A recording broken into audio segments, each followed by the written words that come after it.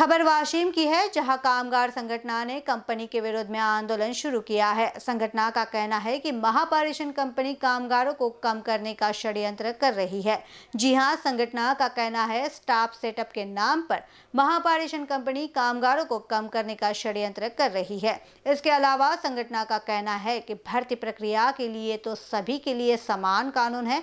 इसके बावजूद company ITI wireman की भर्ती को नकार रही है।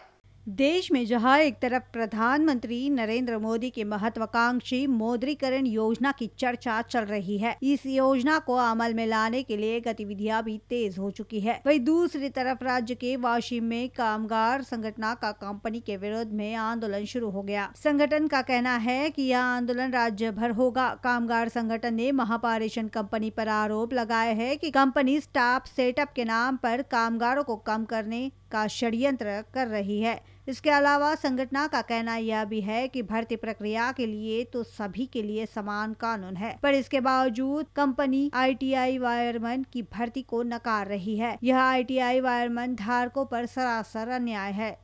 राज्यातील महापारेषण कंपनीमध्ये कत्राडी कामगारांना स्टार सेटअपच्या नावाखाली कमी करण्याचा घाट या महापारेषण कंपनीने घातलेला आहे. हा घाट हे षडयंत्र कत्राडी कामगार असोसिएशन कदापि सहन करणार नाही. महारा हा आजचं जे कत्राडी कामगारांचं आक्रोश आंदोलन आहे हे प्रातिनिधिक स्वरूपाचं आहे. नागपूरहून सुरुवात संपूर्ण महाराष्ट्रामध्ये या आंदोलनाचं लोन पसरेल. शासनाला आणि प्रशासनाला आमची विनंती आहे की त्यांनी महापरिषदमधील कत्राडी कामगारांना जे कमी केलेलं आहे त्या सर्वांना सामावून घ्यावं. तसेच आयट्याधारक वायरमान धारकांना संधी देण्यात यावी. परत मी नम्र विनंती करतो, आव्हान करतो प्रशासन आणि शासनाला की कत्राटी कामगारांचा संयम, हा संयमच राहील याची दक्षता घ्यावी. उद्रेक होणार नहीं.